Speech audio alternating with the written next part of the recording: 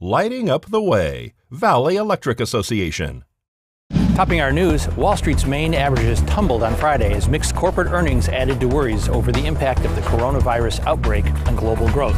The S&P 500 was down more than 2.5% from its record high as supply chain disruptions and travel curbs due to the fast-spreading virus are expected to hit everything from manufacturing to tourism.